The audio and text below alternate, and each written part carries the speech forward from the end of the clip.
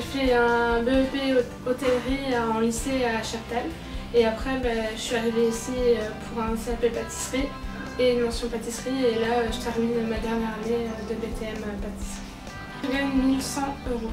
Je suis autonome depuis que je suis rentrée en apprentissage.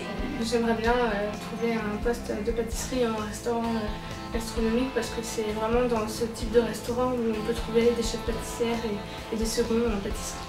Le côté positif, c'est...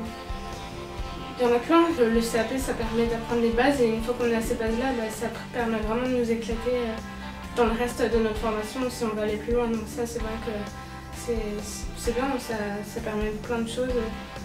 Et surtout bah, la création, si on aime créer, bah, c'est vrai que je trouve ça super la pâtisserie.